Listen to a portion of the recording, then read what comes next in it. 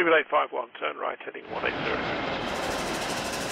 Order 14 Papa, turn right 245, report localizer established 27.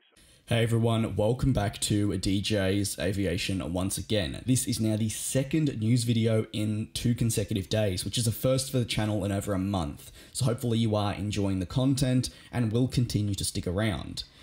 In July, though, the aviation industry was rocked by news of potential wing cracks being found in the Airbus A380. As we know, that is the world's largest passenger plane and an aircraft which is going to see production cease in 2021.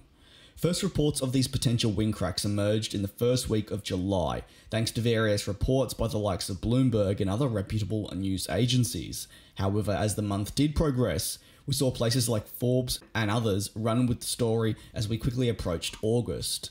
So, what exactly was found to cause these reports to surface?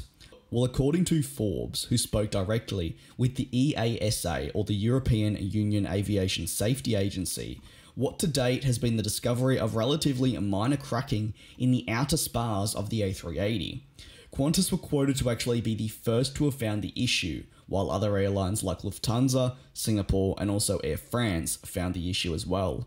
These particular airlines all do share something in common though. Alongside Emirates, they were the first few operators of the Super Jumbo, and it's been widely said that 25 of the type have indeed been impacted, but that's the first 25 that were actually completed in the early production phases for the aircraft manufacturer Airbus.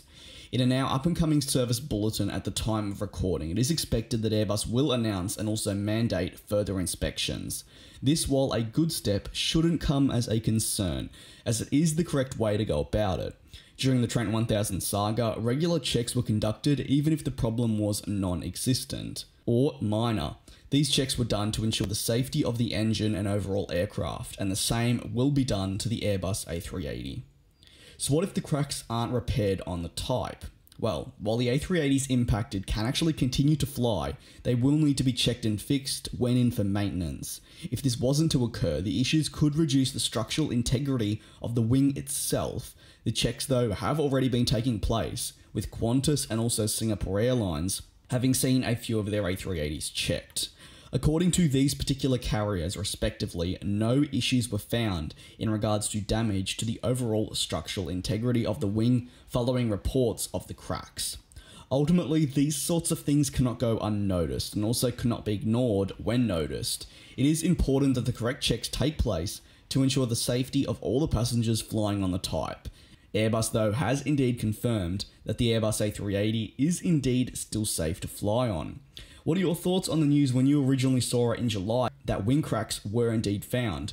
Do let me know down in the comment section below, and I do also appreciate your patience as I catch up on some stories that really interested me in the past couple of weeks that I simply haven't been able to cover until now. I do very much look forward to you all joining me in the next one.